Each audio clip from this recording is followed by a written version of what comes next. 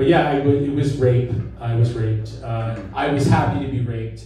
Uh, it's a weird law, right? Because technically I'm not lying. I was raped um, when I lost my virginity, but I was I was waiting to be raped for so long, like by law anyway. According to law, I was waiting to be raped, but longer than I can remember. The second I figured out what sex was, I wanted to have sex with my camp counselor, who I lost my virginity to. I won't say her name just to protect her under the statute of Maine law. I don't know what I don't know what it is, but she was 18, I was 15. It was amazing.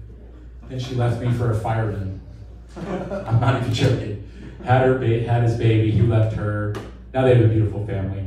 But her daughter added me on Instagram and I had to block her because she looked hotter than her mom when she was 18 and I'm not trying to go down that route. So hopefully I